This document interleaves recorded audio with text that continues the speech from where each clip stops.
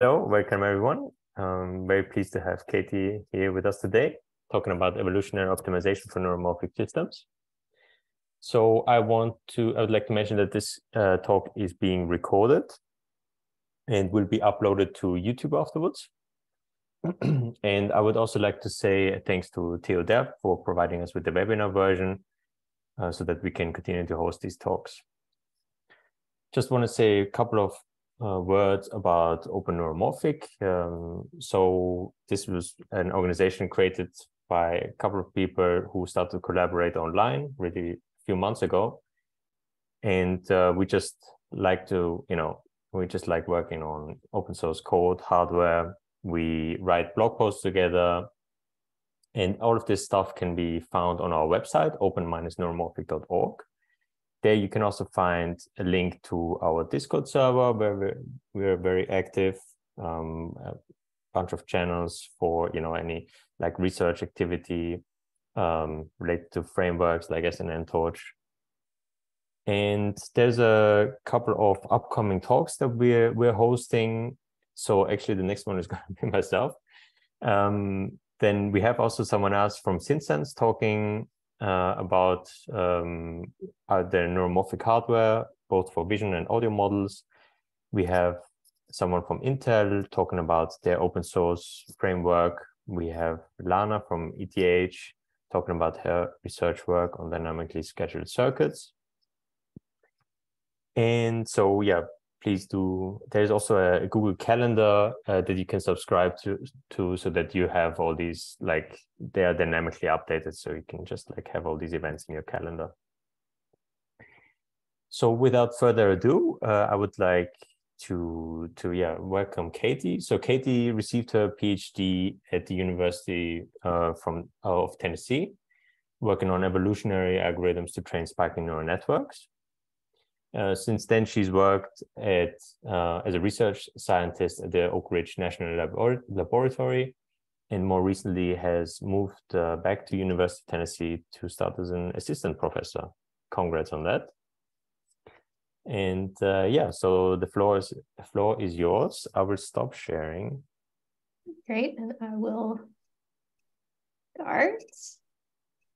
And uh, sorry, just a last remark. Um, remark. So for people, feel free to like post your questions.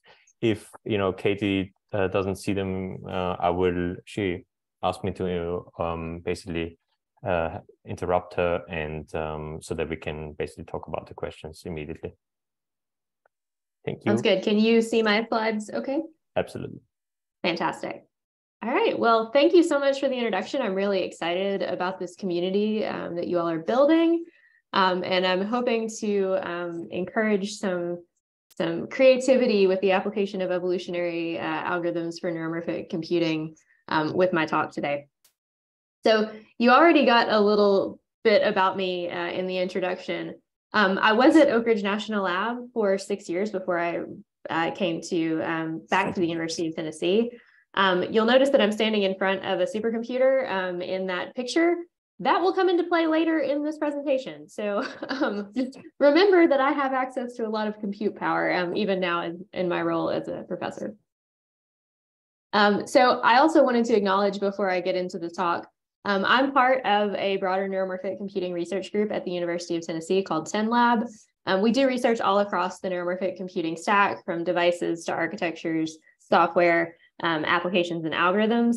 Um, we have affiliated faculty at a variety of institutions and the work that I'm going to be talking about is really a collaboration between all the folks you see on the, the slide here and, and not just me. Um, lots of amazing collaborators working across all levels of, of neuromorphic computing.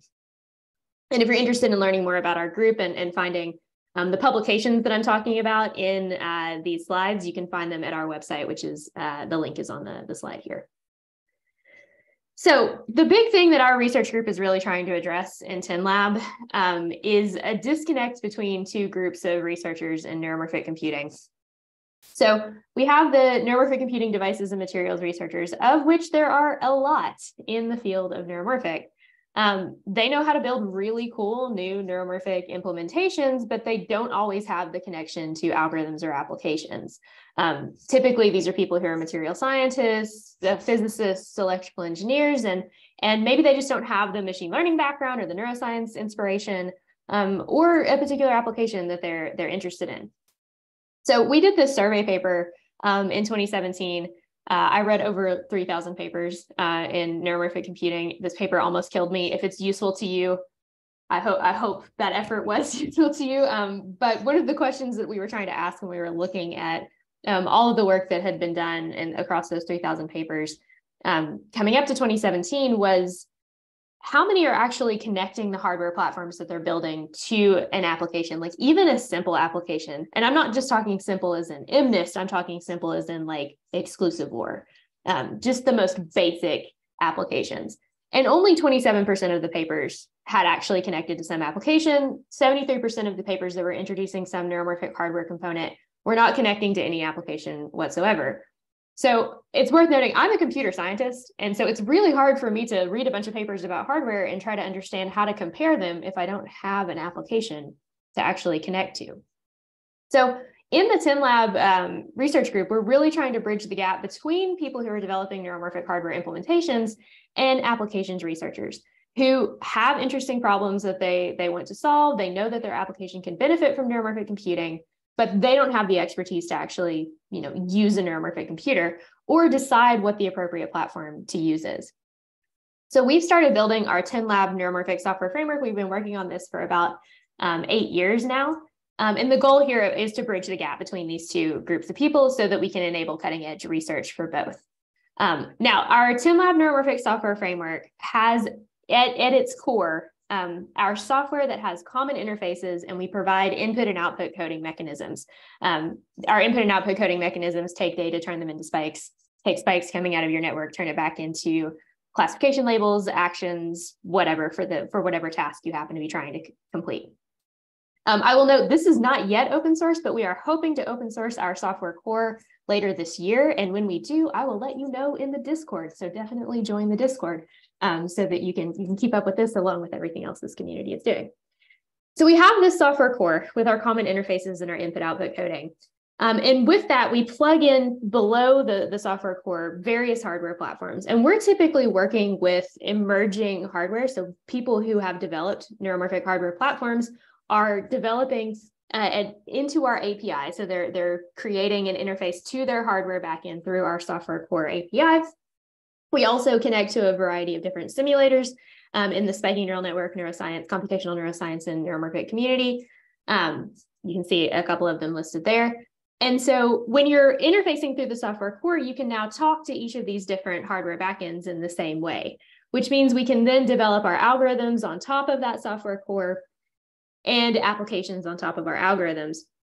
We support a, variety of different types of algorithms. We're going to focus in this presentation, obviously, on the evolutionary algorithm um, components, but we support others.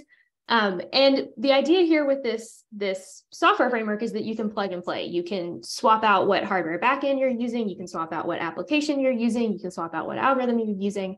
Um, and really study as many aspects of neuromorphic computing as you want to simultaneously. So we do a lot of work, especially through um, application hardware co-design, where we are iterating on our hardware um, using this, this full software framework stack. So when I'm talking about all of this, I'm, I'm going to be talking about it in the context of our, our TENNLab software framework, which has enabled us to explore different architectures and devices and different applications simultaneously, whereas most of what I do lives at the algorithms level. Um, and in particular, this talk is about the evolutionary algorithms. So with that, my uh, my this this journey that I'm going to tell you about started when I was a, a graduate student, um, where I was grappling with the question of how do you design a spiking neural network for a given problem.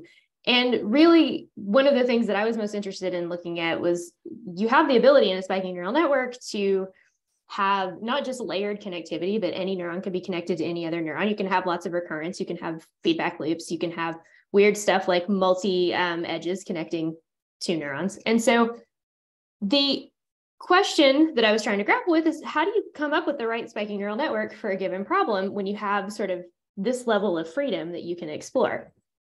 So not only are we asking the question, what should the weights on the synapses be, but we're also asking questions about what the network topology should look like, how many neurons, how many synapses you should need.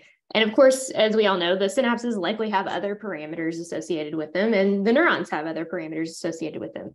And maybe your spiking neural network has additional components. Maybe you have an axon uh, model, you have a dendrite model, and you have parameters associated with those. So it just further complicates the picture of how you design an appropriate network. But then, of course, in neuromorphic, this is not the only problem. We also have to think about designing the right spiking neural network for the hardware platform that we're targeting.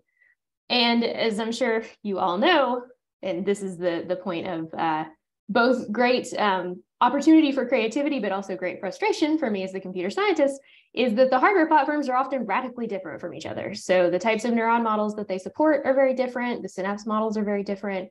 The levels of connectivity can be very different. And the underlying devices and materials can radically change how the networks function.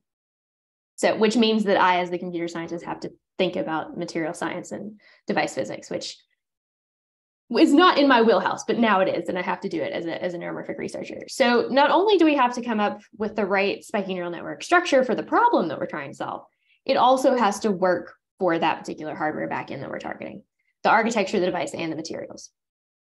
So with this big question, uh, research question in mind, um, I came to the, the approach that we could take would be evolutionary algorithms. So I'm going to do a brief evolutionary algorithms detour just to give you a flavor for if you don't have a background in evolutionary algorithms, here's your primer on an, uh, evolutionary approaches. So there are four key pillars of evolution that we're going to leverage in using evolutionary algorithms or evolutionary optimization um, in an artificial system if you're thinking about it as an optimization problem, instead of having a single individual, a single entity that we're tweaking and optimizing over, we're going to have a population of individuals that we're trying to optimize um, simultaneously. And with that population, we're going to have diversity. The individuals in the population, the different candidate solutions to the problem that we're trying to optimize are going to have different characteristics. We also have a notion of heredity. Characteristics are transmitted over generations. And we have the idea of selection. This is survival of the fittest, natural selection. So you you in this case, the individuals make more offspring than an environment can support. Those that are better at surviving make more offspring, and those that are not die off. So in artificial evolution, we're trying to do the automatic generation of solutions to hard problems. There are similarities between natural and artificial evolutions. We have a notion of phenotype and genotype in artificial evolution. Genotype is the actual genetic representation that's manipulated during the optimization process. Phenotype is the actual thing that we're trying to optimize. And then we have those four key pillars of evolution, population, diversity, selection, and inheritance that are part of our artificial evolution process. Now, there are some key differences between natural evolution and artificial evolution. In artificial evolution, we have a concept of a fitness score, which is the measure of performance of an individual um, on the particular problem that we're trying to solve. In natural evolution, what the fitness score is is a little bit fuzzy to try to evaluate, but we specify what the fitness actually is in our artificial evolution process. We also expect to see improvement between our initial solution um, in our, our first population and as we're evolving over time our final population. We expect to see improvement in that fitness score over the course of artificial evolution. So if you wanted to apply evolutionary algorithms to your problem, there are a set of steps that you would define to start using evolutionary algorithms. So you have to define a genetic representation, what your genome is going to look like. Um, you have to define a fitness function, so how you're actually going to evaluate the solution. Uh, spoiler spoiler alert this is actually i think the absolute hardest thing to do um, for evolutionary algorithms. Um, you have to choose a selection method. There are a lot of selection methods that are in the literature for evolutionary algorithms. Um, so that that's a little bit easier to do. You have to choose how you're going to do reproduction so that you have heredity from one generation to the next. Um, those operations typically are called crossover and mutation. Crossover takes two individuals and produce produces children that inherit characteristics from both of those individuals. um, whereas mutation is exactly what it sounds like. It's small tweaks on an individual um, randomly inserted um, into that individual. You have to choose how you're going to be analyzing your data across the course of evolution, and you have to choose some sort of stopping condition. Now, this is my absolute favorite thing about evolutionary algorithms. They are applicable to any problem domain as long as you come up with the right representation, fitness, and genetic operators, the crossover and mutation approaches. My favorite sort of joke about this in the evolution community is that evolutionary algorithms are the second best way to solve any problem. When you have absolutely no idea how to start to solve your particular problem, evolution's a good a good path to start down. This is why I came to evolution for designing spiking neural networks because I had absolutely no idea where to start with all of the freedom to design what a spiking neural network should look like. So in a very basic um, evolutionary algorithm, in particular, this is a, a genetic algorithm, um, your individuals in your population are represented by binary strings, ones and zeros, and you have randomly initialized individuals in your starting population. You use a fitness function to evaluate them and you get a score associated with how they're performing. Use some sort of selection procedure to preferentially select better performing individuals while still um, maintaining some diversity. So we, in this case, it's picking the top three uh, and not just the, the top one individual. Reproduction operations happen. In this case, they're cloning uh, the individuals um, relative to how many how their fitness score is. So the higher fitness gets more clones in the reproduction process, and then crossover and mutation takes place. Here, crossover is happening between these two individuals, where it's sort of split um, partway through the the um, genome, and the pieces are swapped on one side, uh, and then mutations are just random bit flips in this um, in this setup. So this is great and all. Um, this is what's used for a lot of, of evolutionary algorithm approaches where they take this genome and then they turn it into whatever they're trying to optimize.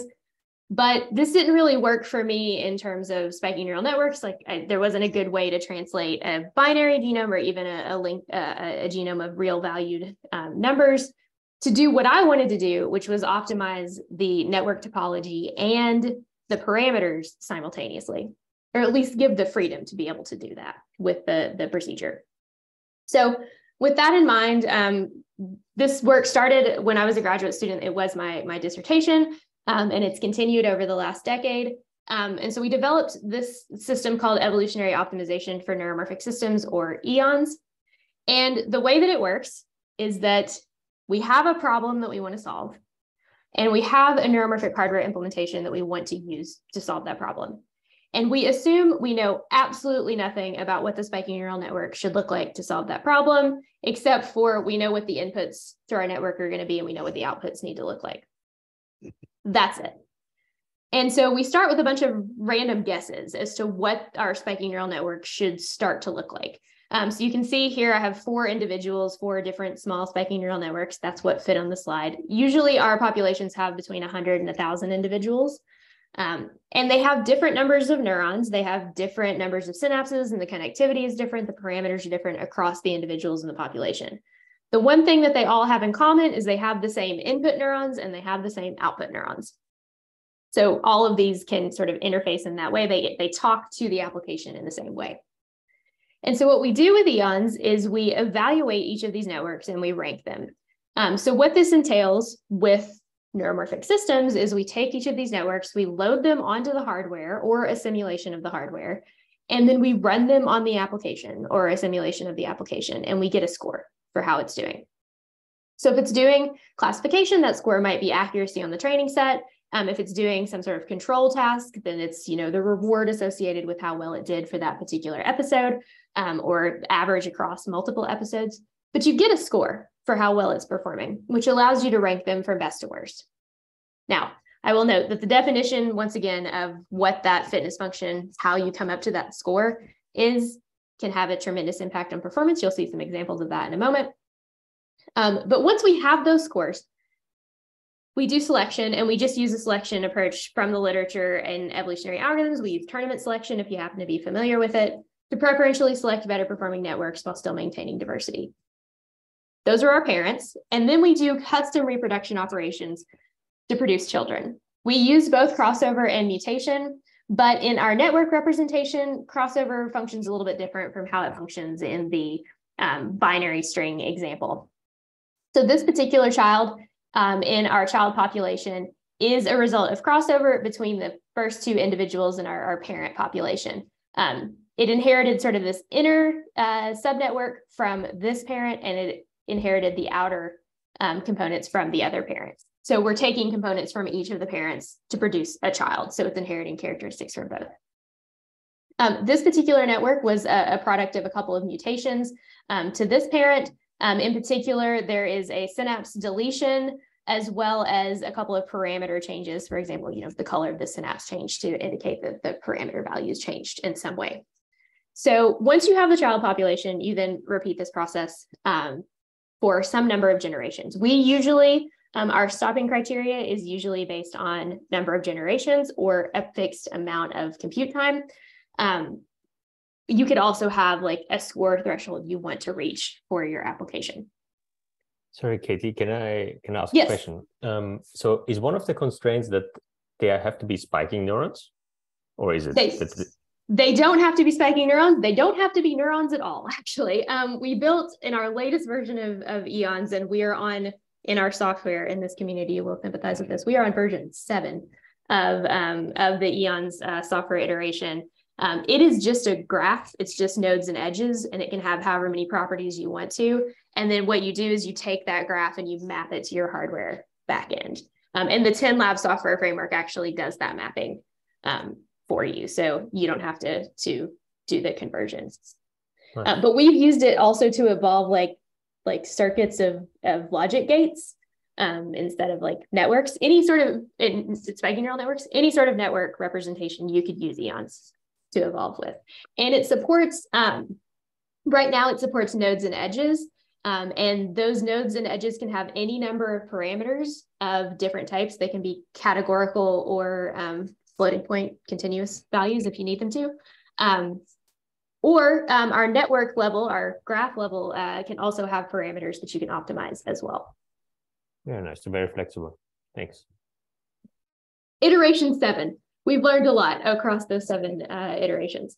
Um, so if you know anything about evolutionary algorithms, um, you probably know that they can be slow to converge. There's a reason the acronym is EONS. It's not as bad as you think, though. Um, in all of the applications that I'm going to show you, every single one of them converged in under 24 hours, most of them in under two hours. And they did so under under those time constraints on like a laptop. So I'm not talking about even though I have a supercomputer and you, you can use supercomputing to get to better solutions faster. What I'm going to be talking about, we used like laptop workstation, not big supercomputers. And when we do use the big supercomputers, I'm going to tell you when we're using them and we're using small parts of them. So yes, they can be slow, um, but there's a lot of reasons why we want to use evolution in the context of neuromorphic and why, even though it's sort of our second best solution to, uh, to problems, I would argue we don't know the first best solution quite yet for how to design arbitrary spiking neural networks. Um, when we do, may, maybe we can pivot to that, but we've been using this for a decade and we've used it for a lot of different reasons. Um, so I'm going to take you through those reasons and tell you about some of the results we've seen so far. So one of the big ones for our group is that it's applicable to a wide variety of different tasks. Um, so I'm going to give you some examples. So one example is we've worked with researchers at Fermi National Accelerator Lab, which is a Department of Energy lab just outside Chicago. Um, they had data from a high energy physics experiment, MINERVA. It was simulated data. And it turns out that a lot of the data that comes off these um, high energy physics experiments is event based data. So it maps really naturally to spiking neural networks. Um, so neuromorphic fits very naturally in analyzing high energy physics data. And the high energy physics community is really interested in neuromorphic, not because it's low power. They don't care. They have a, you can see the detector here. This is like a little person for scale. It's a school bus size detector. They don't care about power. They care about speed. So they do still care about custom hardware. So because it was sort of naturally event driven data, we wanted to look at this from a spiking neural network perspective, and they had a classification task. Um, so what happens is in this data, um, there is a neutrino beam hitting this detector coming through the green plate. Um, these are all different pixels along the detector. And what they wanted to do is look at the data that came off the detector and identify the region, the horizontal region along the detector where an initial, uh, an initial neutrino nucleus interaction event occurred. Um, so the approach that they were taking at Fermilab was a traditional deep learning approach, like a convolutional neural network approach. And they actually came to the group that I was in at Oak Ridge and said, hey, we know y'all do neural architecture search because some of my colleagues used evolutionary algorithms to do neural architecture search on traditional convolutional neural networks. Can you help us build a convolutional neural network that will work on this problem? And we said, sure, but also your data is like spiking. Can we also try spiking neural networks on it? So we did that. Um, and we did both an evolutionary algorithm based neural architecture search on the convolutional neural network, and we used EONS for the spiking neural network result. And we found that the differences in accuracy are negligible here. The fact that the spiking neural network is slightly higher, that doesn't really matter in the, the, the scale of data that we were looking at. They got basically the same result. But Here's what was interesting. This was the convolutional neural network designed using neural architecture search, mind you. This, just this layer is a fully connected layer with 98 neurons in it. Our entire spiking neural network that got the same result was 90 neurons and 86 synapses. It was recurrent. There are cycles in it. You can see the network here on the slide. Um, it's not even fully connected. There are input neurons it's not using at all. That's why there are you know fewer synapses than there are neurons. Um, and we just for, you know, because we could, we estimated what the energy usage would look like on a memristive neuromorphic platform because we were building memristive neuromorphic hardware. Again, high energy physicists don't care. They're like, I don't listen. Hmm, I care about speed. So smaller network, we could potentially run a lot faster. So this was very interesting to them. And this was very exciting for us because it, it made sense here to apply a spiking neural network to this data because it was natively sort of event driven Whereas the convolutional neural network approach was converting it into frames um, and using that for the input. So this is a classification example on temporal data, um, but we can easily pivot to control. And in fact, our TENNLab research group at Tennessee really loves control. Um, for a while, every time a new undergraduate student joined our group, they had to build a control application um, to apply neuromorphic computing to. Hopefully the videos are playing and you can see them. These are some of those applications that they built. Everything from Flappy Bird to robotic navigation tasks.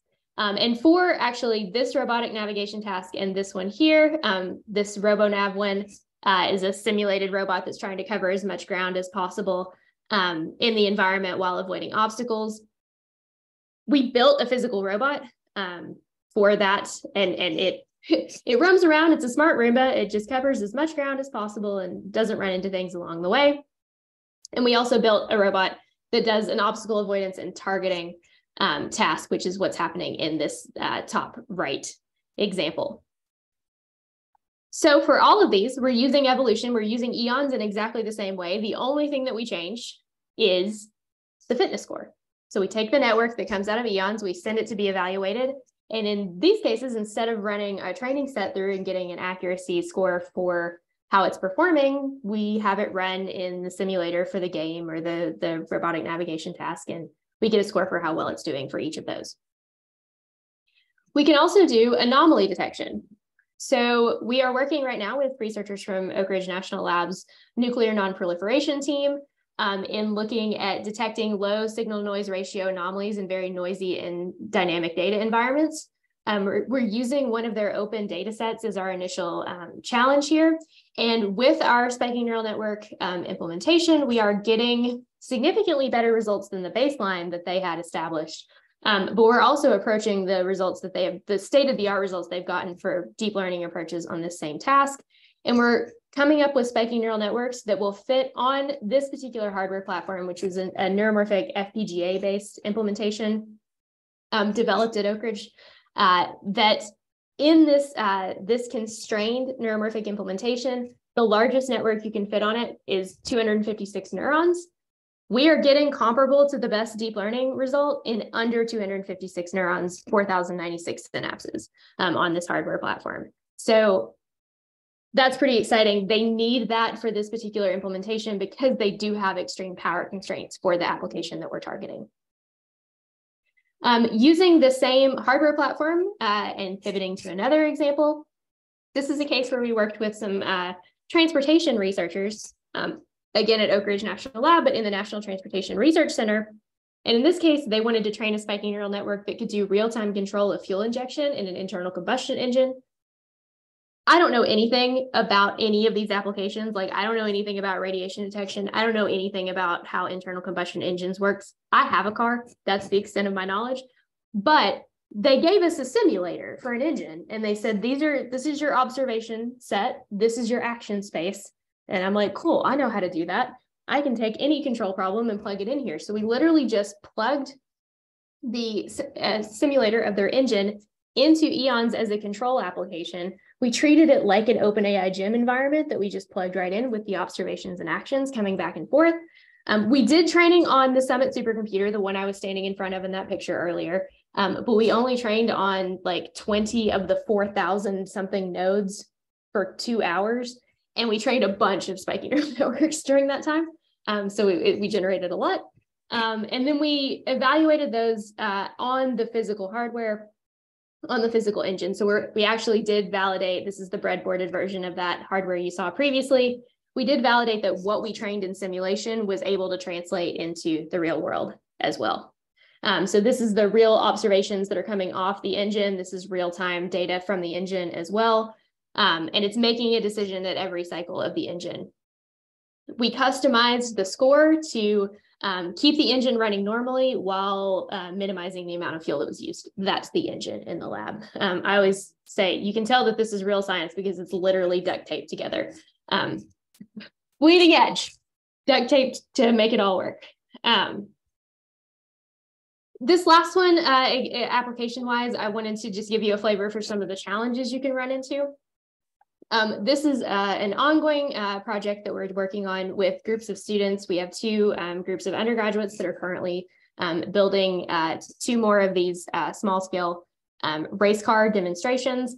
Um, we built one, uh, it's a 110 scale Formula One race car. The F110 community has a lot of really nice resources, including the spec of how to build one of these, as well as a, a lot of software that you can leverage, including a simulator.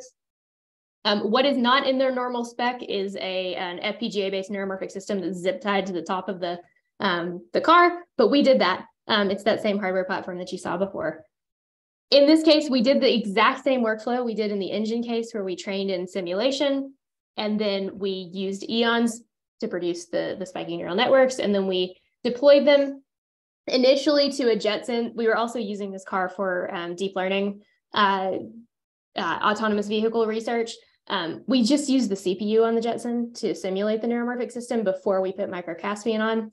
Um, but this was another example for us to evaluate how um, we could translate from simulation to the real world. This is my um, uh, warning about the fitness function and how difficult it can be to define to get complex behavior out of your application. Um, the key challenge with fitness functions is you have to be careful what you wish for um, when you're specifying your fitness function.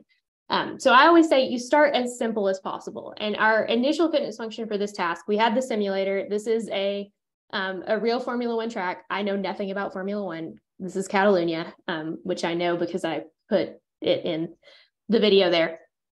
Um, so our initial fitness function was distance traveled. So we wanted to maximize distance traveled without crashing. Now, I don't know if you can see the car. Um, it's the little black dot. It's not a bug um, that's crawling on your screen it if we were maximizing distance traveled, one of the things, the artifacts that we saw is that the network evolved to drive like this because driving like this is further than just driving straight. So that wasn't ideal. Um, but also, we discovered something in the simulator. So we augmented our fitness function. We tried to make it so that it would not do as much weaving. And we saw this one and we're like, oh, this is amazing. But the score we were getting was weird out of the simulator. And we used their simulator. And it's because it evolved networks that did that, which it evolved to make U-turns along the track because it that was maximizing distance traveled. And that's what we told it to do. Um, so we had to augment our fitness function to uh, penalize weaving behavior. And also we, we penalized it for traveling significant distance over how long it should take you to drive around the track. Um, and we got a network, we got multiple networks that were performing reasonably well um, in simulation. Uh, so again, our whole shtick in our research group is we want to actually like see it do the thing in real in the real world. Um, so in order to evaluate a tiny race car, and tiny is not right. It's a one tenth scale. It's still you know solid size. You got to build a racetrack. Um, this was during the pandemic, so we built uh, our first racetrack in my basement. Um, this is in my basement at my house because you know that's how you do it. Uh, we were still simulating the hardware. Um, we were being very cautious. We had no encouragement. It's a race car. Ideally, eventually, we want to go fast, but we were in my basement, so not that fast. Um, we just wanted to see if it could translate what it learned in simulation, and it did.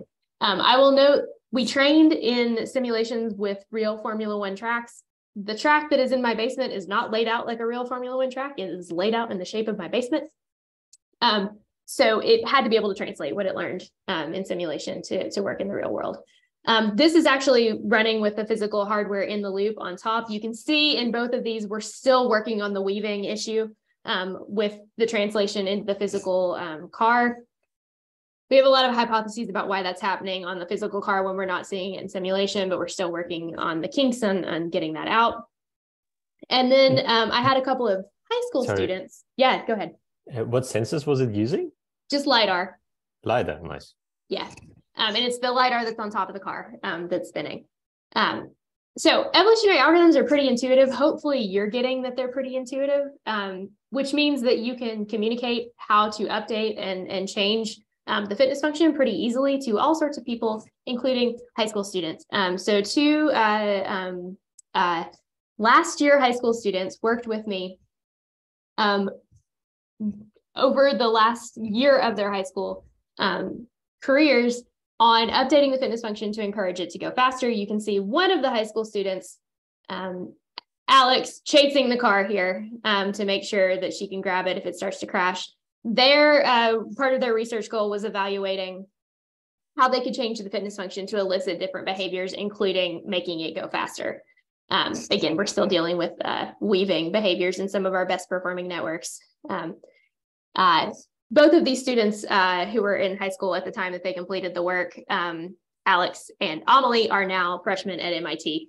Um, so pretty pretty phenomenal students, but high school students nonetheless, um, who started doing neuromorphic research with us. So to give you a baseline here, our TENNLab framework enables us also to easily swap out the algorithm that we're using on the application. So we use a different evolutionary um, algorithm approach, um, just training the weight values, but we did hyperparameter optimization on the network structure. This was a, a feed forward network um, using an evolutionary algorithm package called LEAP. We're going to use that later in our Jupyter Notebook example that I'm going to give you. We also did um, imitation learning approaches using Whetstone, which is an, an open source um, library developed at Sandia National Labs that uses backpropagation style training uh, for spiking neural networks. Uh, and we also did a reservoir computing approach. And you can see that the EONS approach not only gave us the best performance on this task, and I will note we did hyperparameter optimization on all of these, and these are the best results for each of these algorithms, but it also gave us networks that were very, very small compared to the other approaches. Okay, so now I'm going to speed through the rest of these so we have time to uh, go to the, the Jupyter Notebook. Um, EONS evolves the topology and the parameters, which means that the networks that it evolved look very different from what you might typically think of as a spiking neural network. Um, we typically have very small networks with few hidden neurons um, to the point where often these in these examples, the they're um, the pink ones are the input neurons the blue are the output and the green are the hidden. Um, it will often evolve to tell you, I don't care about a lot of the inputs you're giving me to solve this problem. I can get reasonable accuracy by just using a small number of these. And we typically see a lot of recurrent connections. We, unless the hardware has restrictions on what you can do, we don't put restrictions on what the connectivity can be. So we can have input to input connections, output to output, output to input. Any connectivity you can imagine, it can evolve um, if, if you give it that flexibility. Um, this is an example of one of the networks evolved to uh, play a version of the Atari game Asteroids. Um, in this case, we equipped the, the ship with um, a, a, LiDAR on it as if uh, some a, a neuromorphic system was steering from the ship's perspective. The inputs here are the LiDAR beams uh, around the outside, and the outputs are in the middle, turning, thrusting, and firing. And the hidden neurons, there are only 10 of them, uh, are just drawn around the outside edge.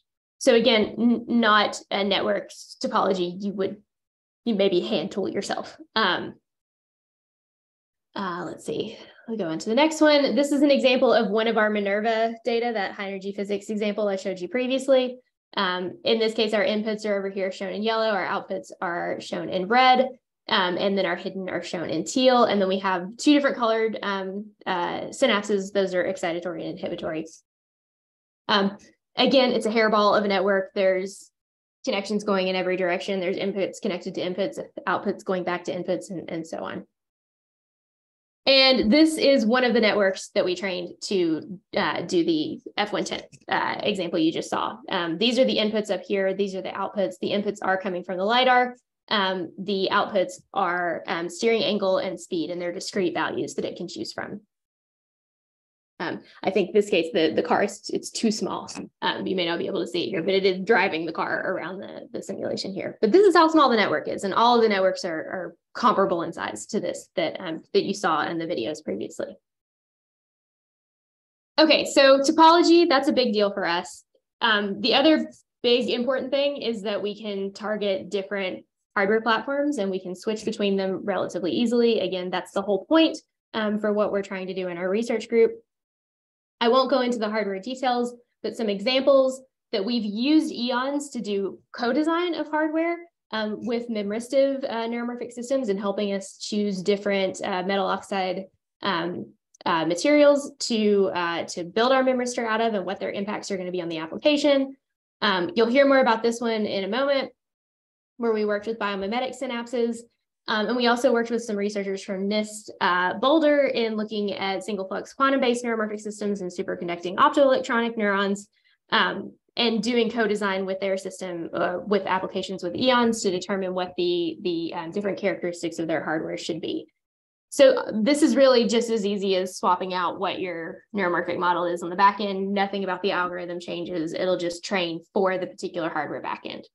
That being said, it will train for the particular hardware backend. So the network that you train for a memristive-based system is not going to be the best performing network for your superconducting optoelectronic system, but you wouldn't expect it to be.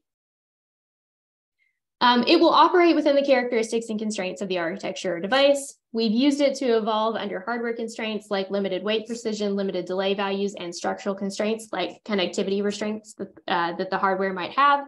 And it can discover well-performing networks under pretty extreme constraints. We, in this case, we had um, various levels of precision in our synaptic weight value.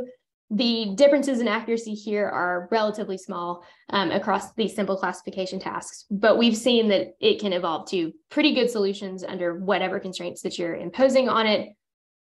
But this can also be used to help do that co-design process where if it can't evolve to the same sort of solution, then the characteristic that you've eliminated is actually pretty important. Um, so you want to include that. Um, one of the things that that we've used this for is to it, use evolution when once again we have a neuromorphic system where we're like, I have no idea if this is going to be useful at all. Like, can it can it do anything? We have no idea. So some of our collaborators in the mechanical engineering department at Oak Ridge and the Center for Nanophase Material Science at, uh, uh, sorry, the mechanical engineering department at, at Tennessee and the Center for Nanophase Material Science at Oak Ridge came to me one day and we're like, so we made this thing and we think it acts like a synapse. So this thing was two water droplets encased in lipids that they squish together. It has a membrane. And then when they apply a voltage to an electrode that's pad that's below one of the water droplets on one side, it opens, in this case, alamethicin channels. You read out the current on the other side. It behaves a lot like a chemical synapse. And it exhibits short-term plasticity, um, paired pulse facilitation and paired pulse depression.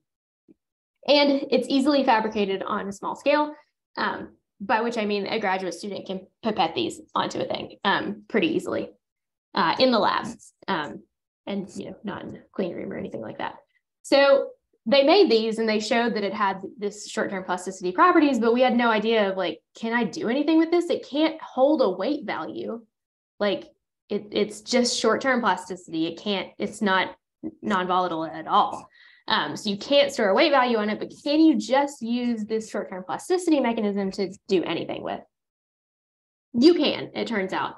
Um, so we implemented a model of the behavior, we implemented a simulator for it, and we trained on a variety of applications. The one that I'm highlighting here is an EEG classification task, um, classifying between healthy and epileptic um, EEG signals. We got comparable accuracy with the other neuromorphic hardware backends that we had tested on this task previously. Six neurons and six synapses where the synapses were implemented um, using these synaptic device models.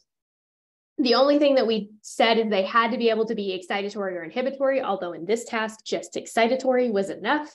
Um, and it had to be able to, to implement a delay in some place. Um, in this case, we rolled the delay into as an axon delay um, as part of our neuron model, which was a solid state neuron model.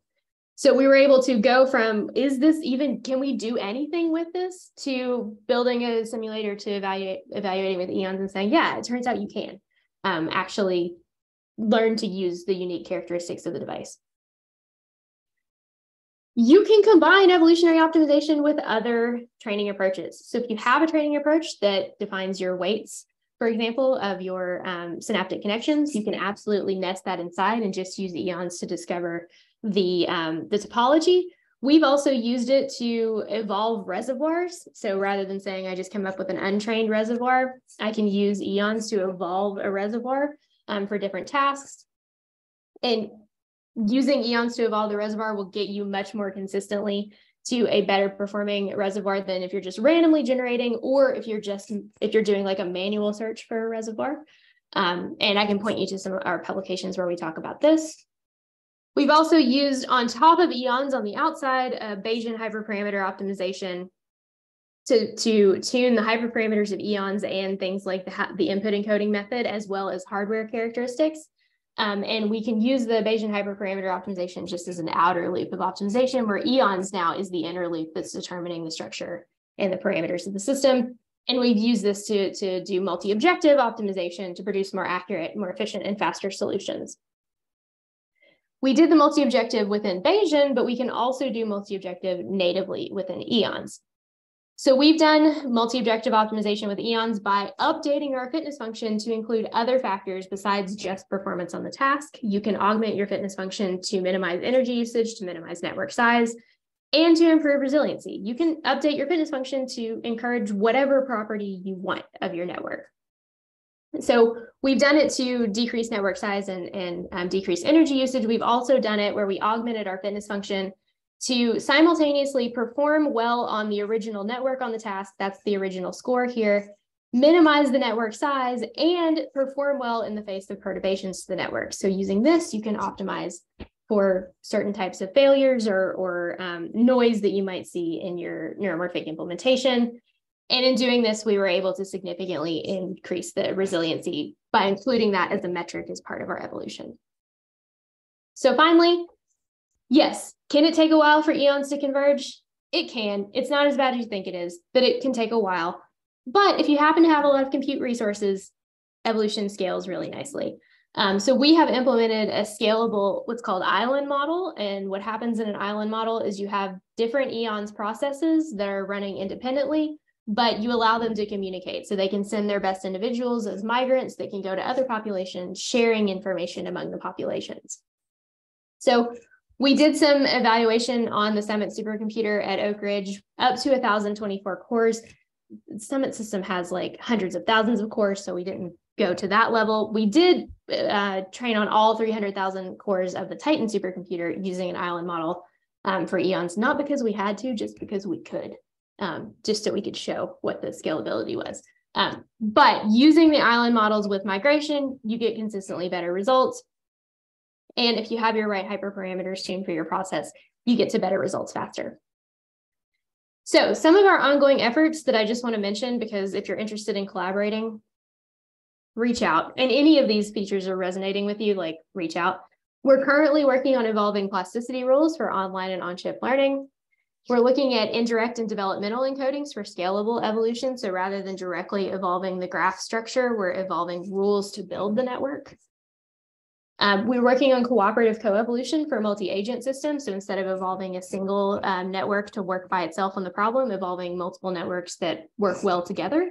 Um, we are always, always, always doing application hardware co-design, especially for emerging devices in neuromorphic computing. And as I mentioned earlier, we're moving beyond neuromorphic implementations as well. Um, in particular, I'm currently working on a project uh, with some folks at Sandia National Labs applying EONS and evolutionary algorithms to do co-design for probabilistic computing as well. And we are also studying impact of encoding and decoding approaches on performance. We have already seen that there is tremendous impact on the application um, performance based on the encoding approach that you're choosing for how you're converting your data into spikes. Um, and we are currently studying how decoding also impacts that performance. So to quickly summarize before I go to an example, um, we are using evolution to uh, study neuromorphic systems in a variety of ways, to evaluate and deploy on different applications, to do co-design, to meet devices where they are, to leverage their characteristics, but also operate within their constraints, to improve the resiliency of neuromorphic implementations. And for us, it's also helping us understand what is the computational power of a spiking neural network when we are letting it evolve to whatever structure it needs to solve the problem. Um, I will note, I think that evolutionary algorithms, of course, I'm a bit biased, can play a great role now as we're exploring the possibilities of new algorithmic approaches. In the future, I don't think that evolution is the right way to determine the parameters of a network. I think we're going to be coming up with lots of different algorithmic approaches we already have for how to determine things like synaptic weight values. But I do think they will continue to play a role in the development of topologies um, for spiking neural networks, and even as these new algorithmic approaches emerge. So I wanted to share with y'all an example. Um, EONS is not yet open source, although we do share with collaborators. So please feel free to reach out if you're interested. Um, I'm going to put this, hopefully, I may exit and put this link in the chat um, so that you can all can access this. I hope everybody will be able to see this. I would um, run it in, um, run it on uh, Colaboratory um, if you are going to run. But for now, I'll just briefly go over. Um, this is an example where we're using evolutionary algorithms to just evolve the weights of a spiking neural network. Implemented, uh, the spiking neural network is implemented in snnTorch. Um, and the evolutionary algorithm is using LEAP, which is the library for evolutionary algorithms in Python. Um, the reason I'm using LEAP here is because LEAP has a scalable implementation um, so that if you do have a lot of compute resources, you can leverage those compute resources. Although in this case, we're using a serialized implementation. So I will go ahead and, and play this along. Um, so snnTorch is the spiking neural network package. LEAP is the evolutionary algorithm package. And then we're going to use the cart pole task from the OpenAI gym as the task that we're going to try to solve. So I think, I don't know how many of you were at the snnTorch. There is an snnTorch uh, talk in this series. So there's a YouTube um, uh, talk, I think. Correct me if I'm wrong. Um, but the weird thing we're doing with snnTorch is instead of using um, a variant on uh, gradient descent to come up with the weights, um, we are passing the weights in from our evolutionary algorithm. And we're setting the weights in the layer here from the genome that we're defining in our evolutionary algorithm.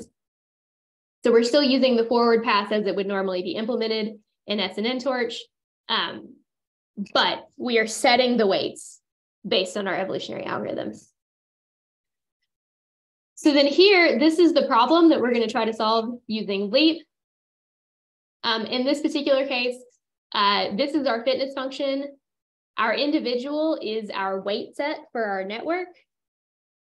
This is the creation of that snnTorch that's in the previous cell um, based on the weights from our, uh, our individual in our population. And then we're going to use the OpenAI gym. Uh, we're going to run five episodes on the cart pole task, um, getting the actions from our network, doing a forward pass, and then getting the observations reward and other information back from the environment.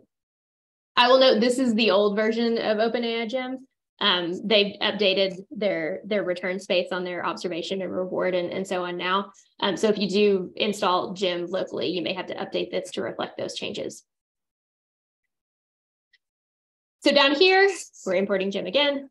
Do that, but we have our cartpole environment and we're specifying the structure of our network.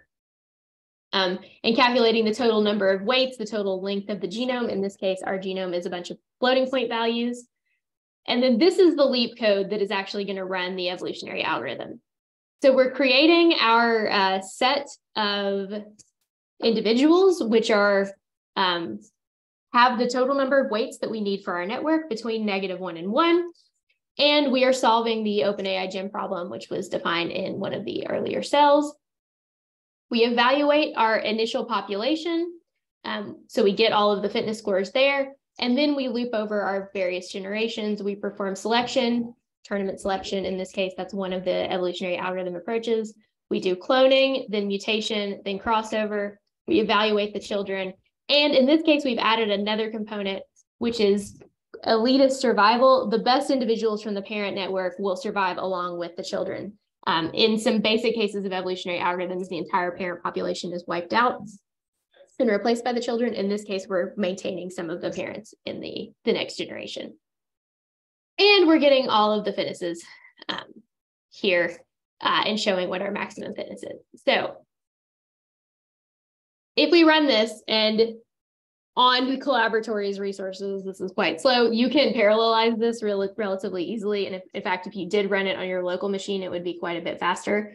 Um, it will start to print uh, and the evolved network solutions, um, showing the maximum fitness value. And then you can look at the best uh, performing network after the fact by looking at the, um, the genome of the network that is evolved along the way. Um, so as this is running, um, I will pause and ask if anybody has any questions, um, or if you encounter any issues with this, you're also free to email me uh, as this is running.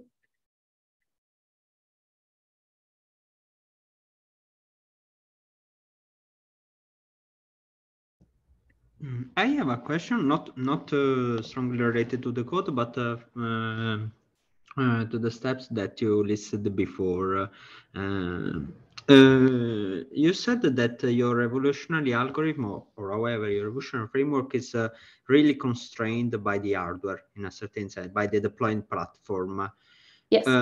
because you can come up with extensively different networks that are more or with certain parameters. So, and I saw also that in most cases, as a prototype, at least you deployed the two FPGAs. Are there any, any any other cases in which you use the actual uh, neuromorphic ASICs or uh, FPGAs turned out to be always the less painful, let's say, way of uh, deploying your solution? No, so that's a great question. So we because our group is doing like architectural exploration that's why we're using FPGAs to prototype different neuromorphic architectures and evaluate those. Our group is also custom fabricating our own neuromorphic systems.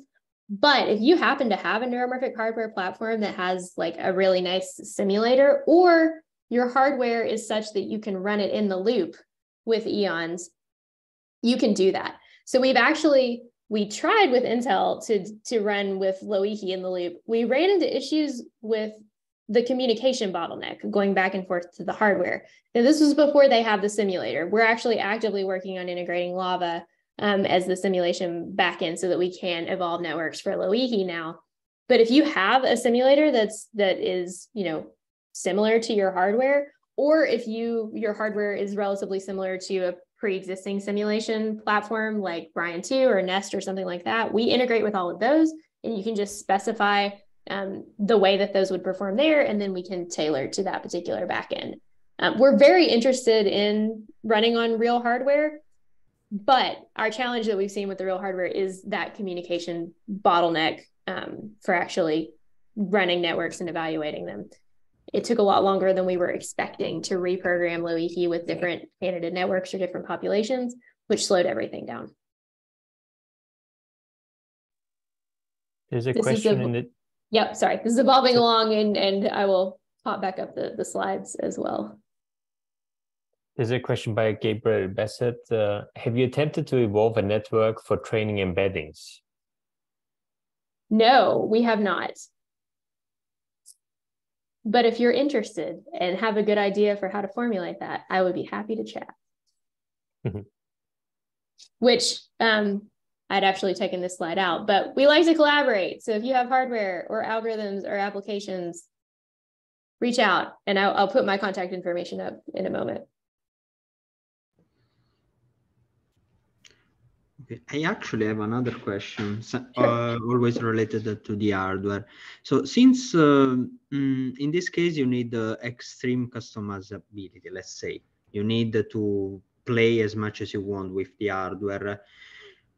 And since you have been produce, uh, deploying until now on FPGAs, isn't maybe FPGAs or programmable hardware with uh, in the future some uh, specialized APUs like Xilinx is doing with machine learning, uh, special art blocks uh, in their uh, FPGAs actually be the solution.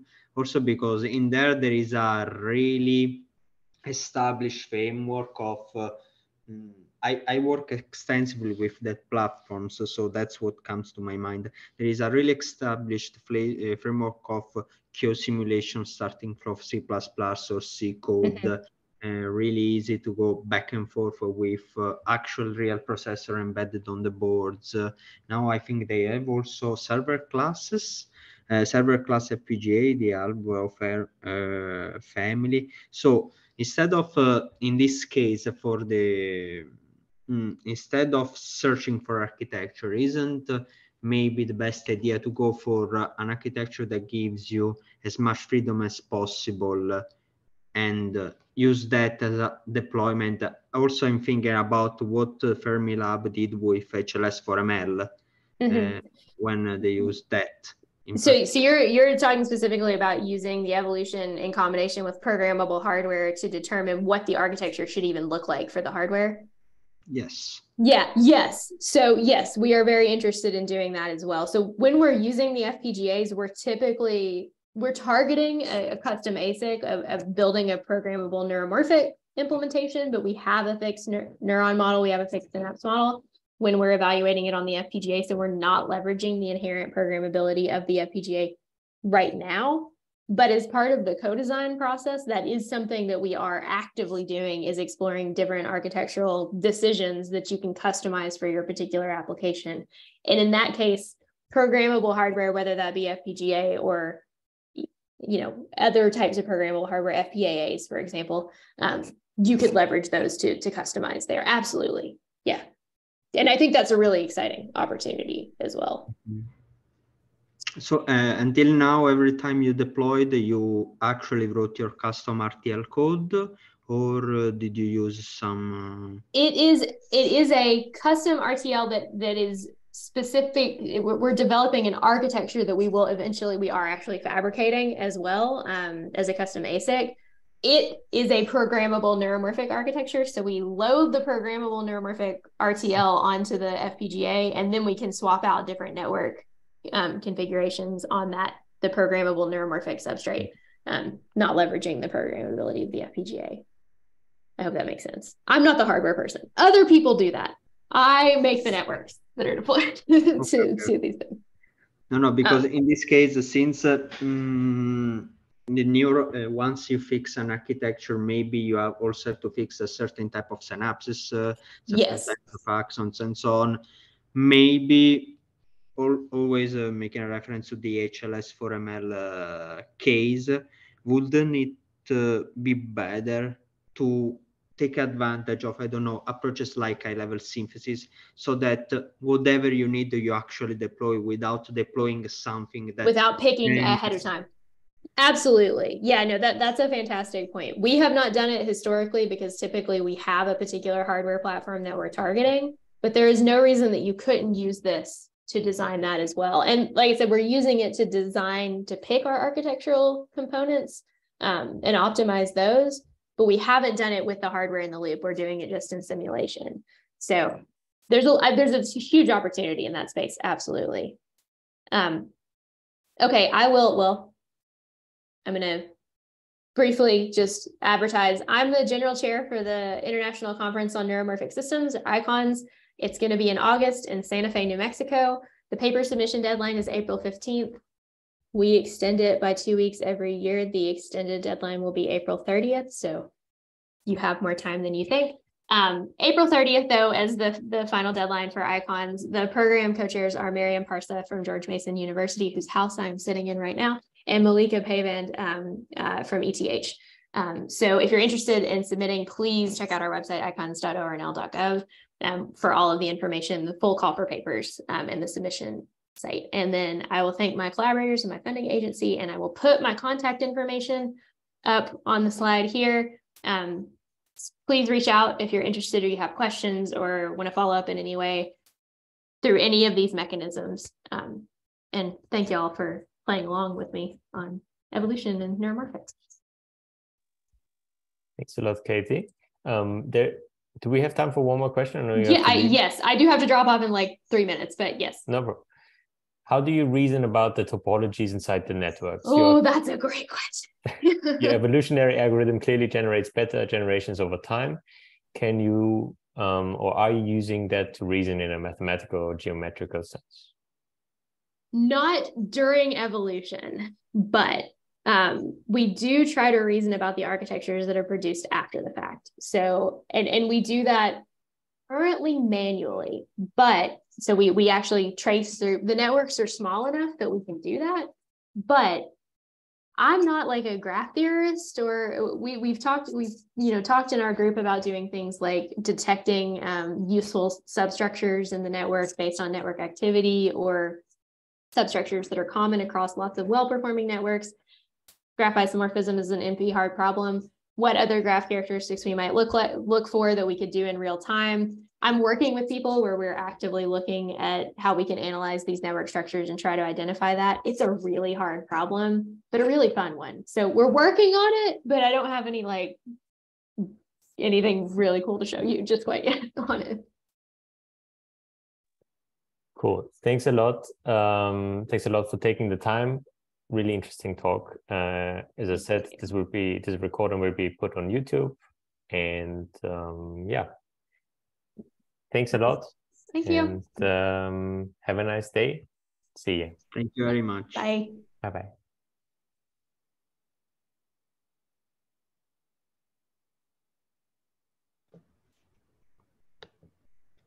Mm-hmm.